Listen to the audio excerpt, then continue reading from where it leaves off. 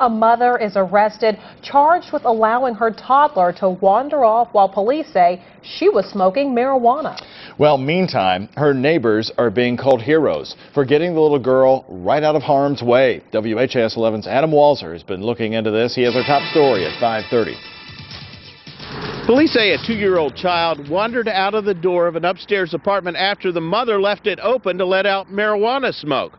Officers believe that if it weren't for the help of a good Samaritan, that little child wouldn't be alive tonight. So as we went out the door, we seen a baby standing on the corner.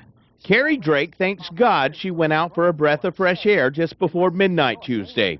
On the corner, she saw a tragedy about to happen as a two-year-old girl toddled toward the curb. We could see the headlights of the car.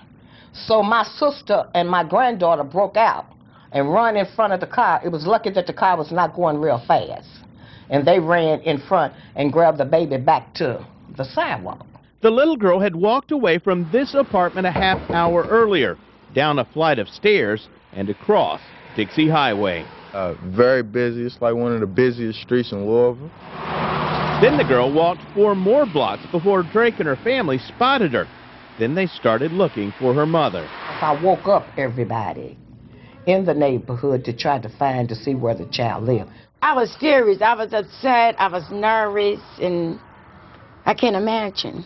I couldn't. My heart went out for the baby. She just kept saying her mother, she wanted her mama. Drake called police. About that same time, so did the girl's mother to report her missing from her Dixie Highway apartment.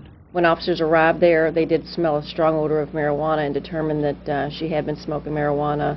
She advised that she had opened the door to ventilate the apartment, um, and the child got out.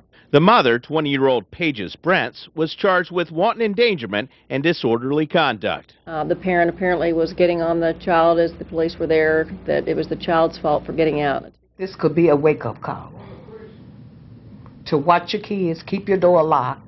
She was a little baby, two years old, and anything could have happened. Police say that the child has been placed in the custody of another family member and that Child Protective Services are now looking into the case. Additional charges are possible. Reporting from the California neighborhood, Adam Walser, WHAS 11 News. Authorities say that it was below freezing at the time when the little girl wandered away, but luckily she put on a coat, socks, and shoes before leaving.